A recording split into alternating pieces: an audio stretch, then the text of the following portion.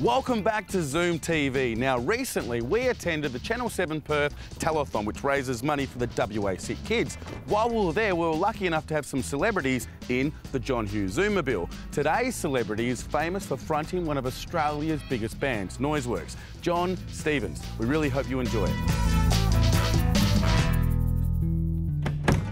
Mr. Jon Stevens, how are you? Yeah, good, mate. Thanks for getting in the back of the van. Some people freak out. Now, how did your career start?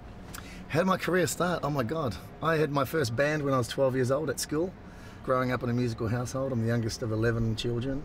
So I sort of, I guess I started as soon as I could, you know, make a noise. And is that where Noiseworks came from? Or? Oh no, Noiseworks, Noiseworks started uh, back in the 80s, early 80s, and, uh, you know, sort of went from there. What are you doing today? Just released an album called Changing Times, Yep. which is out on iTunes, and um, yeah, that's came out about a month ago. And What's your favourite song out of the new album? favourite song would probably be One Mistake. So you, you ever see Noiseworks going you know, Yeah, out we- on a reunion? We actually played uh, January, February, March. We did a tour with uh, Jimmy Barnes and uh, Thirsty Merc. We uh, called the Red Hot Summer Tour, and Oh, wow. um, and that sort of propelled us to sort of go into the studio again. And, and we've been recording uh, some new stuff due for next year. So Jesus Christ Superstar was, was pretty big. Massive, yeah. Uh, we did it with John Farnham, Kate Ceberano, and John Waters, and it was a, a concert version of a theatrical production. So it was the first time it had ever been attempted anywhere in the world. And um, uh, today it still holds all the box office records for the most number of concerts in each state in an entertainment complex. What was the first car you ever owned? First car I ever bought was uh, a Mark II Zephyr. Wow. I bought it for my brother. He borrowed $150 off me. And that's what it cost me, Mark II Zephyr. Wow. The classic You want to have that now.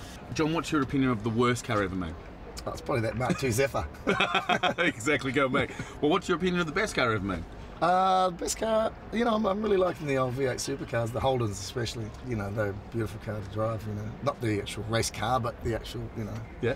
SS and that. Yeah. Okay. And what car do you drive today? I drive a four-door Jeep Wrangler. It's cool. You get scratches and dings, it doesn't bother you. Now, John, the fifth question, the final one. What's your biggest fear?